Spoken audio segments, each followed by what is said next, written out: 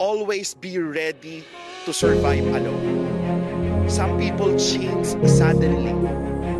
Today you're important to them, tomorrow you're nothing to them. Because that's real life.